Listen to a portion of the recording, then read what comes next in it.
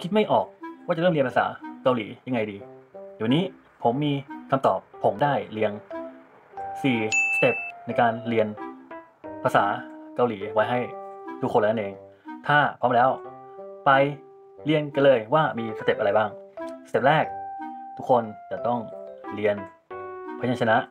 สระไม่ว่าทุกคนจะเรียนภาษาอะไรแล้วแต่ ก็ต้องเริ่มพยัญชนะสระใช่ไหม เพราะว่าถ้าเรารู้พยัญชนะสระเราก็จะสามารถไปต่อได้ ถ้าเราไม่รู้พยัญชนะสระเราก็ไปต่อไม่ได้นั่นเองโอเคไหม ถ้า step นี้โอเคแล้วก็ไป step ที่สอง step ที่สองก็คือการผสมคำทุกคนรู้ว่าสระเป็นยังไงไม่ใช่พยัญชนะเป็นไงสระเป็นไง ต่อไปก็ผสมคำเพราะว่ารู้แล้วว่าสระพยัญชนะ ต่อไปก็คือผสมคำนั่นเอง ผสมคำก็ต้องผสมยังไง ผมมีวิดีโอนี้ไปให้พี่เลย ดูวิดีโอนี้ จะช่วยได้เยอะเลยนั่นเอง โอเค ต่อไปสเต็ปที่ 3 แล้วก็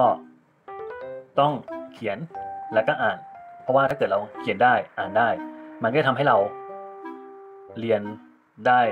ง่ายขึ้น อ่านได้ง่ายขึ้น นั่นเอง เพราะว่าถ้าเรา รู้ว่าผสมยังไง เราก็จะต้องเขียนไปด้วยใช่ไหมเวลาที่เราผสมคำเหมือนกับวิดีโอที่ผมให้ดูนี้ เวลาที่เราผสมคำเราก็ต้องเขียนไปด้วย แล้วเราก็จะอ่านไปด้วยในโดยอัตโนมัตินั่นเอง ก็นี่คือ step ที่ 3 ต่อไป step ที่ 4 ถ้าทุกคนรู้ 1-3 แล้ว ก็ step ที่ 4 นี่คือเรียนไวยากรณ์เรียนไวยากรณ์จะช่วยให้ทุกคน สามารถ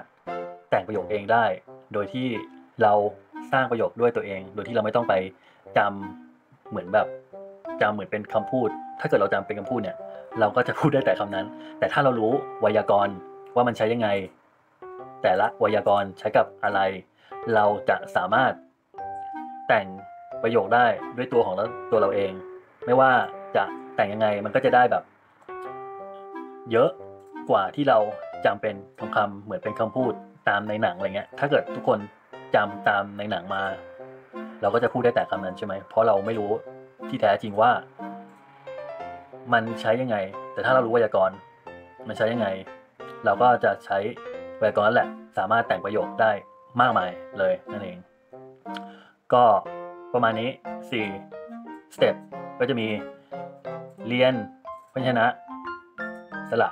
โอเคไหม เต็ปที่สองเรียนผสมคstep ที่สามเรียนเขียนอ่าน step ที่สี่เรียนไวยากรณ์ประมาณนี้ ก็หวังว่าวิดีโอนี้จะเป็นประโยชน์ต่อทุกคนนั่นเอง ถ้าวิดีโอนี้เป็นประโยชน์ก็ช่วยกดไลค์ผมด้วย แล้วก็กดแชร์วิดีโอที่เป็นประโยชน์ให้กับเพื่อนๆของทุกคน แล้วก็อย่าลืม อย่าลืม นึกไม่ออก ก็ประมาณนี้อย่าลืม ตั้งใจเรียนนั่นเองสำหรับวิดีโอนี้ ประมาณนี้ แล้วเจอกันใหม่คราวหน้าสำหรับวันนี้ บ๊ายบายสามสองหนึ่งคิดไม่ออก ไม่รู้จะเริ่มเรียนภาษาเกาหลียังไงดี วันนี้ผมมีคำตอบให้ทุกคนและผมได้เรียงมาให้แล้วมีสี่สเต็ปนั่นเอง